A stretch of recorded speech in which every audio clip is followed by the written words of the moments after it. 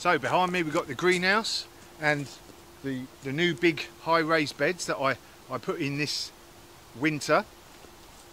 And you can see on the caption up there, if any of you guys that have not seen it before, interested in seeing how I built the greenhouse, etc. It's definitely been a case of getting used to these beds uh, this year.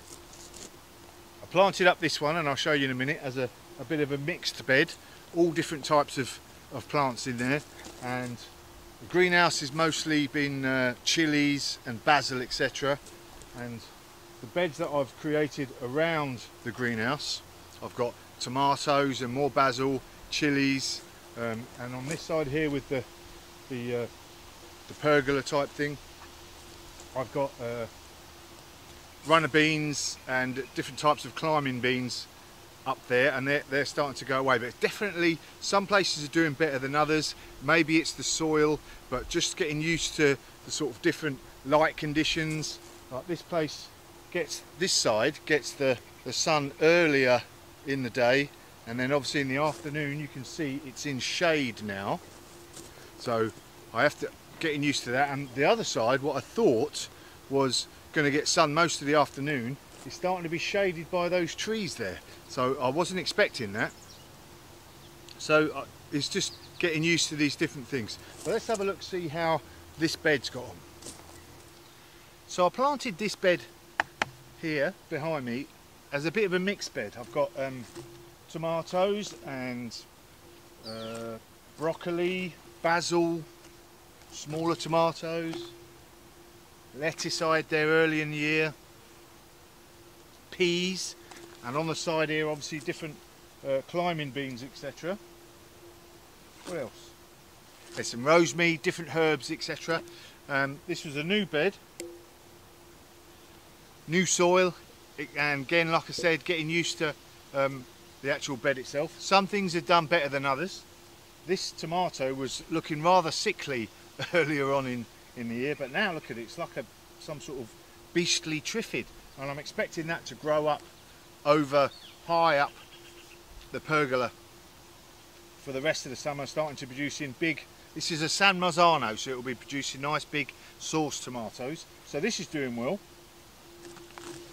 And down here as you can see in the uh, in the film I've got these little tiny Tim tomatoes. Um, not doing so well. Well they're doing okay in, in this bed in the other beds they're doing a lot better. Um, but they're producing tomatoes and Mrs F says they're looking really sweet. And some other of the, the tomatoes here are, are starting to produce actual tomatoes so I'm pleased with that. Got a couple of nice cos beautiful cosmos here. That's going to be starting to flower soon. And that'll be pulling in the pollinators for the other things that need flowers. The same as this this lovely um, sunflower here. That's going to be um, pulling in the pollinators and um, lots of bees everywhere so um, that's good. The peas at the end there not done well at all. Um, in fact I'm just I only left them in so to show you in this actual film. As you can see they're all yellow and sickly um, they've caught something but I'm going to whip them out and put something else in. At this time of year I can still sow basil um, some uh, lettuce maybe because the shade from the other plants um, should help the lettuce even though it's going to be hot. Um, but I could be thinking about some kale now and some uh, maybe some more broccoli. As you can see this broccoli here is doing quite well or different one some of it's doing well all the way down to some little tiny ones but they're still going. Got to be vigilant now for cabbage white butterfly. Keeping a look on the underside of the leaves to make sure there's no actual eggs there because before you know it you can go to bed come up the next day and your your uh, your broccoli's been devastated by some big fat hungry caterpillars. So this is a good time now to be keeping vigilant for those cabbage white butterflies. What else? Still got lettuce in the side there. That seems to be doing all right. The uh, the slower growing red lettuce and and the butterscotch they're, they're they're still doing well and the beans now although slow to start off they're now starting to to get amongst it and especially the ones on the other side are starting to grow up those poles and I expect them to to romp up there in the next month producing lots of different purple and runner beans etc looking good. The bed over the other side there the basil not done as well as I'd hoped. Obviously that's to do with the, the sun not getting to them in the afternoon compare that to the basil in the greenhouse which has been producing me absolutely superb class basil all for the last uh, six weeks. Just day after day I can go in there and pick more basil more basil. So looking at those conditions next year I'm either going to put a cover over there or probably not even grow um, basil in that side. Definitely going to grow more in the greenhouse next year what else we got? So let's have a look. Uh, but I've got some I've got some bush beans and they seem to be doing okay. And I planted some lettuce. As you can see there um, I've got some young lettuce now. Uh, and that's coming and that will probably benefit from the shade in the afternoon. So it will get sun in the morning and then when it gets too hot in August a nice bit of shade that'll help the lettuce prolong it not not letting it go to bolting. But let's go and have a look around the back now so as you can see round the back here uh, this is south facing although is slightly shaded sometimes by the trees behind me. But most of the day it gets a good amount of sun. I've got tomatoes all along the back um, basil along the front here um, and in the corner here I've got some more tiny tim tomatoes and some peppers that are not doing as well all the tomatoes now are starting to to do really well. I'm growing most of them up obviously the sticks. In the corner there um, in the up the other end there I am growing I'm, I'm trying a bit of an experiment just to see how these tomatoes sort of perform if you just let them get on with it. You know start bushing up everywhere um, just to see what happens see if I get as a good a yield as I do off these tall ones the tomatoes that I've got are the San Marzano again the big the sort of plum tomatoes. Um, F1 mixed F1 mixed I think they're called. Cherry tomatoes lots of them. Been a good performer for me so far. These tiny tims. Again the basil as you can see starting to perk up. It's take it's taking its time unlike the stuff in the greenhouse but this is looking healthier than that stuff that's around that side so it's funny just that little bit of extra sun that obviously gets being on the south side is starting to uh, look a lot healthier which is good for me because then I can make some more pesto. Right, last side, this side. So again, more tomatoes all the way down this side here. If it all comes in, I'm going to be under a snow of tomatoes and definitely making all sorts of different sauces, etc. for the winter. Um, probably giving a lot away as well, which is no bad thing. Um, centre, oh, a centre row of chilies and uh, basil, again this basil here hasn't done that well. And a front row of basil, which again is starting to come on a little bit, but not that good. Um, and then I've put in, right at the end there, uh, a couple of pumpkins. So hopefully they'll just start to grow and romp off along the side and just grow along there. The, uh, the tomatoes, this one here, this side one, was really sickly early on in the year, all leaves all curled up and everything, but now it's managed to survive and it's it's romping away up the pole and looking nice and strong. All the rest of them starting to actually produce me tomatoes, various different ones, Peace Fine or the F1 Cherry Mixed. Um, now the chilies. Now one of the reasons I actually built my greenhouse was that I never particularly I'm never particularly successful growing chilies or peppers.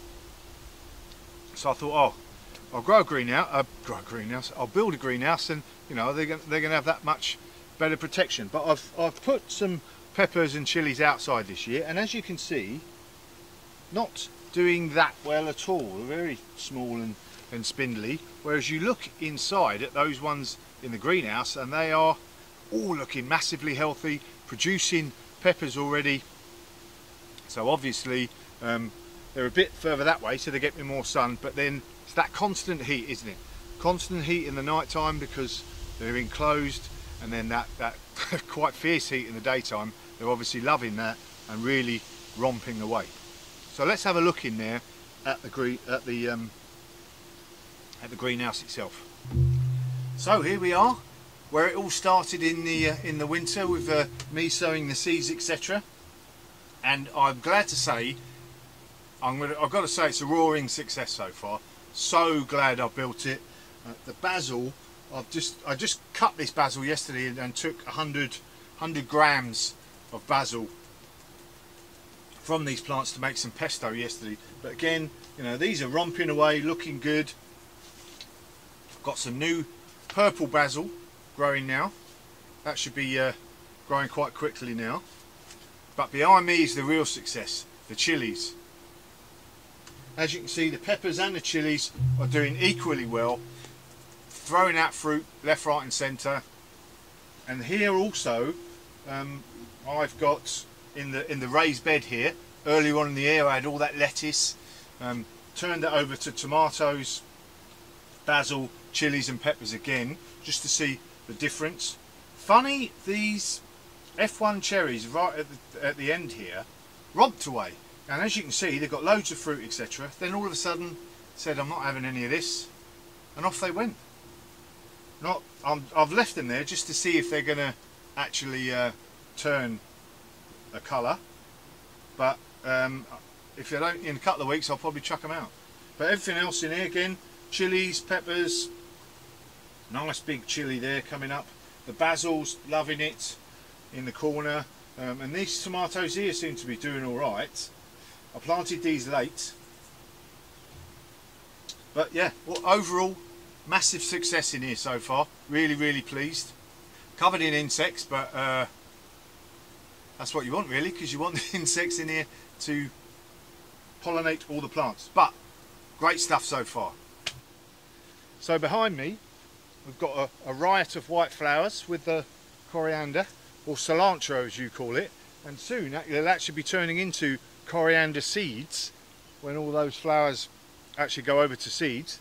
But I'm leaving them there and as you can see they're a, a riot as well a riot of insects all pollinating insects hoverflies etc all around them. And that's brilliant because it's you know bringing these insects near to my my greenhouse and the tomatoes and it's just it's just good for the insects anyway but that'll be turning over soon to coriander seeds and I'll be drying them out uh, behind that the corn is doing absolutely fantastically it's uh, growing really well. Last year, complete disaster, nothing happened. Uh, this year, I planted some direct or sowed some direct outside and planted some earlier just in cases and everything is actually doing really well. So I'm pleased with that. That's all going really nicely. Below me here, the carrots are doing well. I planted, I did some succession planting of the carrots, but we had a really dry hot spell. And obviously sometimes when that happens the carrots don't particularly like it. A bit too dry they won't germinate. But we've had a bit of a damp spell the last week. And all of a sudden as you can see we've got some new carrots germinating. These carrots I'm going to start picking these in the next in the next two weeks to a month just picking them when I need them they'll be ready. I picked one earlier and it was about it was about that big but I can get some really good ones. And in you know from about two or three weeks time they'll start producing nicely. So everything on this side is looking really well. Um, over in the in the corner you can just catch it on the edge of your your screen there. That is the that is the asparagus now grown up into its proper plant leaving it now let it grow all the way until the frost time um, to get all its strength to gather itself for next year when those spears come one of the first vegetables of the year so I'm leaving that on its own. I might plant some lettuce in between actually in the next uh, week or so. That again will benefit from the, the shade of the actual asparagus. Let's have a look at the old potatoes. I had a fright last month, didn't I? So, here we are in the potato patch. Now, if you remember, in uh, those of you who haven't seen my recent potato update, update, last month I reported on these potatoes And while this side was doing really well and even started flowering, shooting up, this side there was just literally one potato plant had come up. So we've got the seaweed side, this side, traditional growing side, that side, and the, the potatoes that have been planted in the seaweed weren't doing anything at all. And I'd been bigging it up, saying, yeah, seaweed's great, brilliant potatoes, clean potatoes, much more potatoes. In fact, I didn't have any potato plants at all, bar one that had grown up. But as you can see now, looking really good. Looking just how it should do. A bit behind, but that's no that's no big deal because the, when these potatoes start to sort of go over, these ones that are smaller now will obviously still be producing. So I've got that staggered um, potato, so I'm, I'm, I'm, pleased with that. I've earthed them up a few times. Um, everything's looking good. Still haven't, uh, fortunately, no attack of the, what is it? The Colorado potato beetle, as my son says. Still no sign of that. Um, I had a bit of a problem with it last year, but I'll be keeping ever vigilant. But yeah, those potatoes on that side, everything's looking good. Really pleased. So as you can see behind me, I've got my rustic fence uh, and I've got all tomatoes all the way along the fence there with a couple of grapevines um, thrown in for good measure. Again, is, is it a bit annoying? Reporting great robust health from everything. Look at the tomatoes, they're, they're growing up really well, nice and strong. Everything's flowering. As you can see in the close-up there, they're just looking, looking nice and healthy.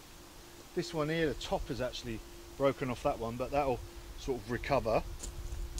My grapevines have even got some grapes on them, which I can't believe. Um, I've had them in four or five years now, or was it three or four? Not really been been doing anything for me, but this year now, they've the first year they've actually producing some some grapes on there. So looking forward to them later on in the season.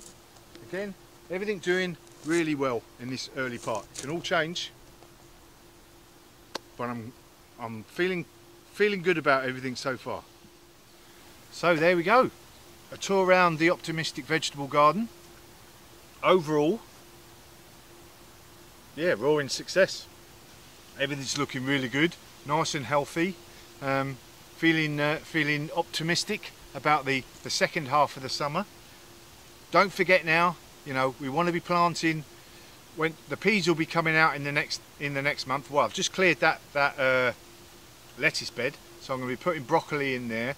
Um, got to be thinking about the stuff to go here. We can be planting, you know, parsley, lots of different, some more coriander. You could be um, planting kale. Even for the next week or so, you should be able to get anywhere here or in the UK. Should be able to bang in some some uh, dwarf French beans of some sort, yellow beans. Be able to bang them in, and they'll they'll produce you a, a crop. Even get some some onions in. You, if you plant some onion seeds or something now, you'll get some spring onions towards the end of of the summer. No worries at all. So all in all, got to be happy. Nice sunny day. think I'm just about to leg it in the pool. Job's a good one.